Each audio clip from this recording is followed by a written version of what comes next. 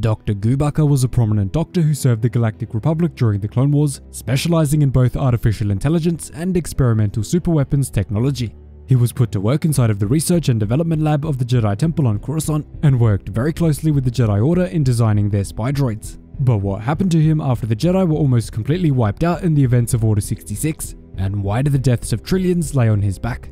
Let's find out. So, in the final days of the Republic, Dr. Gubacher contributed to outfitting the D Squad after they visited his laboratory to receive upgrades. After this, he continued working hard for the Republic until the dark day of Order 66 came, and he heard news that the Jedi had committed treason and attempted to overthrow the Supreme Chancellor of the Republic, who of course was Palpatine. After hearing this, Gubacher was disgusted with the Jedi, but continued his work as first and foremost he was a man of science and military. No matter who was leading, which was definitely not going to be the Jedi anymore, he wanted to support the Republic wherever they went. As the Republic transitioned into the Empire, Dr. Gubacher remained loyal to this brand new empire because it was pretty much exactly the same from his point of view. His job remained intact, and his work was unimpeded, and to him, Palpatine had just pulled off one of the greatest wartime victories ever recorded. As a result of his outstanding loyalty, Dr. Gubacher was recruited to a group called the Strategic Advisory Cell, which was a group of officials proficient in energy science, exotic weapons, power conversion, and crystal focusing.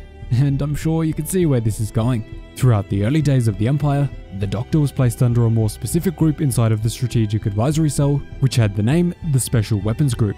In this group, he was joined by none other than Lieutenant Commander Orson Krennic himself.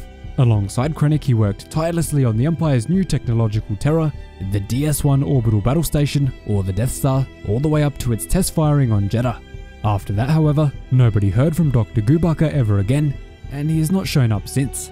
At this point, it is very possible that he was killed off by Palpatine and the Empire after completing his work on the Death Star and contributing all of his years of scientific knowledge to the project. It wouldn't be the first time that this has happened.